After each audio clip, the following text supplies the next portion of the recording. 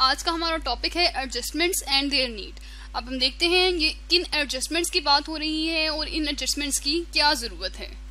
हम final accounts पे एक पूरा चैप्टर कर चुके हैं। फाइनल अकाउंट्स क्या होते हैं? जो कंपनी की फाइनेंशियल स्टेटमेंट्स होती हैं, जो फाइनल अकाउंट्स बनाए जाते हैं, जो कि बिज़नेस का प्रॉफिट लॉस बता रहे होते हैं और बिज़नेस के जो माली हालात यानी फाइनेंशियल पोजीशन बता रहे होते हैं, वो बिज़नेस के फाइनल अकाउंट्स होते हैं या फाइनेंशियल स्टेटमेंट्स वो बिज़नेस की होती हैं। इस पर हमने एक पूरा चैप्टर किया और ये फाइनल अकाउंट्स या फाइनेंशियल स्टेटमेंट्स किससे तैयार की जाती हैं? ये ट्रायल बैलेंस में जो अमाउंट गिवन होती हैं, जो तमाम बैलेंसेस की समरी हमें दी जाती है उससे हम फाइनल अकाउंट्स बनाते हैं या फाइनेंशियल स्टेटमेंट्स को तैयार करते हैं। अब होता क्या है, जो ट्रायल बैलेंस गिवन होता है अब जब हम फाइनेंशियल स्टेटमेंट या फाइनल अकाउंट्स बनाते हैं तो हम ये ज्यूम करते हैं ट्रायल बैलेंस के अंदर जो इन्फॉर्मेशन गिवन है, वो कंप्लीट है, और उससे हमने फाइनेंशियल स्टेटमेंट्स या फाइनल अकाउंट्स बना लिए। लेकिन अगर हम प्रैक्टिकली देखें, यानी जनरली होता क्या है कि जो ट्रायल बैलेंस होता है, इसमें तमाम कंप्लीट इन्फॉर्मेशन बिज़नेस की, तमाम ट्रांजेक्शन की नहीं होती। जैसे हम लोग यहाँ लिखते हैं, अगर हम लोग फाइनेंशियल स्टेटमेंट या फाइनल अकाउंट बना रहे हैं एक साल के लिए, जो कि शुरू हो रहा है जनवरी से, और वो साल ख़त्म हो रहा है दिसंबर पे, और ये जो साल है, ये है दो हज़ार सत्रह। अगर इसके लिए हम लोग फाइनल अकाउंट्स बना रहे हैं तो ये किससे बनाएँगे? हम हम ट्रायल बैलेंस से बनाएँगे। अब कुछ इन्फॉर्मेशन ऐसी बिज़नेस की होती है जो कि हमें पता चलती है साल के आखिरी दिन या साल के आखिरी डेट्स में। जैसे हमें पता चला 28 दिसंबर को हमें कोई इन्फॉर्मेशन मिली। अब जो हम लोग ट्रायल बैलेंस बनाते हैं, यहाँ हम 28 दिसंबर लिख लेते हैं। अब जो हम बनाते हैं ट्रायल बैलेंस वो तो बनता है। पहले ट्रायल बैलेंस बनाने का तरीका ये है। सबसे पहले जर्नल बनाया जाता है, यानी बिज़नेस की जो भी ट्रांजेक्शन जो भी लेन देन का मामला होता है, वो जर्नल में उसकी रिकॉर्डिंग की जाती है, उसे हम कहते हैं जर्नल में एंट्री पास करना। जर्नल से फिर हम लोग एंट्री जो है वो ट्रांसफ़र करते हैं, यानी पोस्ट करते हैं लेजर में, और लेजर से फिर इन तमाम अकाउंट से जो कि अब तक काम हुआ होता है, जो ट्रांजेक्शन रिकॉर्ड की होती हैं, उसका ट्रायल बैलेंस बनाया जाता है। अब अगर किसी चीज़ का, किसी अमाउंट का, किसी ट्रांजेक्शन का हमें पता ही ट्वेंटी दिसंबर को चला है, या ट्वेंटी दिसंबर को कोई ट्रांजेक्शन हुई है, और वो जर्नल लेजर और ट्रायल बैलेंस में मूव नहीं हुई तो इसका मतलब है इस ट्रांजेक्शन को हमने अब रिकॉर्ड करना है डायरेक्टली फाइनेंशियल स्टेटमेंट में। इसे हम लोग कहते हैं एडजस्टमेंट करना, यानी उस ट्रांजेक्शन को एडजस्ट करना। जब हमें ट्रांजेक्शन का पता चलता है, हम किस तरह से उसकी एंट्री पास करते हैं, फिर किस तरह से उसकी एडजस्टमेंट करते हैं इनमें, ये अभी हम देखेंगे। और ये हम क्यों करते हैं, इसकी क्या ज़रूरत है, ये भी हम जानेंगे। अब हम एग्ज़ाम्पल समझते हैं एडजस्टमेंट क्या होती है, उसकी क्या ज़रूरत है, उसको क्यों हम लोगों ने एडजस्ट करना होता है चीज़ों को।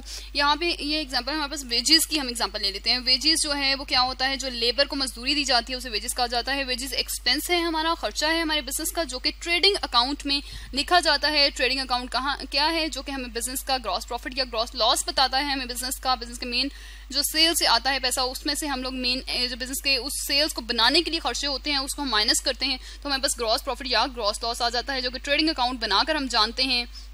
अब जो वेजेस का एक्सपेंस जिसका हमें इन था कि वेजेस का एक्सपेंस है, वो हमें पता था वेजेस का एक्सपेंस है रुपीज़ टेन थाउज़ेंड हमने यहाँ पे लिख लिया और इस टेन थाउज़ेंड को हमने ट्रायल बैलेंस में रिकॉर्ड किया हुआ था जर्नल में रिकॉर्ड किया हुआ था लेजर में गया और फिर ट्रायल बैलेंस में आया और वेजेस का एक्सपेंस जहाँ जहाँ जाना था ट्रेडिंग अकाउंट में हम लोगों ने इसे रिकॉर्ड कर लिया। वेजेस के एक्सपेंस को, ये हमारे एक्सपेंस को तौर पर इतने अमाउंट रिकॉर्ड हो गई। लेकिन जब हमारे पास ट्वेंटी दिसंबर आई, जैसे मतलब साल का आखिर है और साल के आखिर में फाइनेंशियल स्टेटमेंट्स को हमने कंप्लीट करना है और हमें ट्वेंटी दिसंबर को पता चलता है कि हमारे पास जो वेजेस थी वेजेस में से दस हज़ार की वेजेस रिकॉर्ड की हैं, लेकिन इसके अलावा भी कुछ लोग ऐसे हैं, कुछ मजदूर ऐसे हैं जिनको कुछ लेबर ऐसे हैं, जिनको पैसे नहीं दिए और उनको हमने कितने पैसे देने हैं?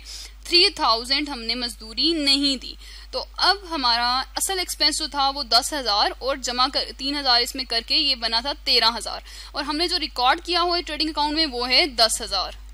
अब जो अमाउंट जो कि तीन हज़ार है, जो हमने रिकॉर्ड नहीं की, इसका मतलब है जो हमने बनाया होगा ट्रेडिंग अकाउंट या जो हमने इनकम स्टेटमेंट बनाई होगी ट्रेडिंग अकाउंट के बाद अकाउंट्स की शक्ल में हम लोग अगर प्रॉफिट या लॉस जाने तो उसे हम ट्रेडिंग अकाउंट या प्रॉफिट एंड लॉस अकाउंट कहते हैं। अगर यही चीज़ हम लोग स्टेटमेंट की फॉर्म में जाने तो उसे फिर हम इनकम स्टेटमेंट कहते हैं। इनकम स्टेटमेंट या trading profit and loss account हमने बनाया। एक्सपेंस जो हमने रिकॉर्ड नहीं किया एक्सपेंस हमने तीन हज़ार का रिकॉर्ड नहीं किया, इसका मतलब है एक्सपेंस हमारे कम है और कितनी अमाउंट से कम है हमारे एक्सपेंसेस तीन हज़ार से हमने अपने एक्सपेंसेस को कम रिकॉर्ड किया हुआ है। इसका नतीजा क्या निकलेगा? तीन हज़ार से अगर हमने एक्सपेंसेस को अपने कम रिकॉर्ड किया हुआ है तो जो हमारी, क्योंकि एक्सपेंस खर्चा हमने कंसिडर किया, वो कम था, क्योंकि इस खर्चे का अभी हमने रिकॉर्ड नहीं किया। तो हमारी जो बिज़नेस की इनकम आई होगी, या जिसे हम लोग कह लेते हैं, अगर हम ट्रेडिंग अकाउंट के थ्रू चलें तो हमारे बिज़नेस का जो ग्रॉस प्रॉफिट आया होगा बिज़नेस के सेल्स में से उसकी उस सेल्स को करने के लिए जो खर्चे हुए, उसको माइनस करके ग्रॉस प्रॉफिट जो आया होगा, वो तीन हज़ार से ज़्यादा होगा, क्योंकि हमने तीन हज़ार का एक्सपेंस जो है वो रिकॉर्ड नहीं किया, इसलिए ग्रॉस प्रॉफिट जो है वो तीन हज़ार की अमाउंट से ज़्यादा होगा।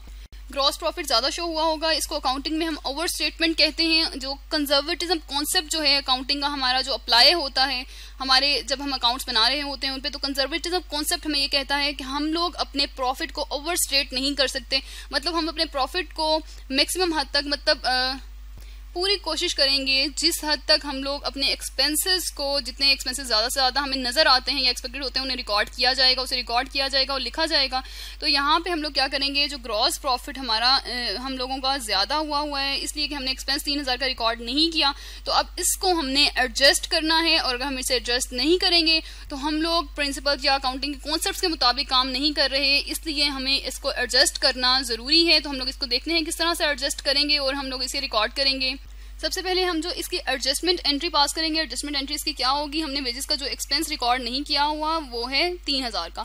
तो हम क्या करेंगे? वेजेस अकाउंट को हम लोग डेबिट कर देंगे। वेजेस अकाउंट को डेबिट करेंगे हम लोग रुपीज़ थ्री थाउज़ेंड से। और जो अमाउंट हमने वेजेस की नहीं पे की, वो है हमारी अमाउंट हमने पे करनी है। तो इसको हम लोग वेजेस पेएबल लिखेंगे, जो कि हमारी लाइबिलिटी है, और ये हमने लाइबिलिटी पे करनी है। इसको हम लोग लिख देते हैं वेजेस पेएबल और हमने इसे क्रेडिट कर दिया क्रेडिट पे लिखा, थोड़ा सा राइट पे लिखा वेजेस से। तो जो चीज़ थोड़ी सी राइट पे लिखते हैं, वो क्रेडिट होती है तो ये हमने लिख दिया रुपीज़ थ्री थाउज़ेंड जो है, ये हमारा वेजेस पेएबल है, यानी वेजेस अभी हमने पे करनी है। अब जब हम लोग इसको रिकॉर्ड करेंगे हम लोग इसको कहाँ लेकर जाएँगे कहाँ लिखेंगे?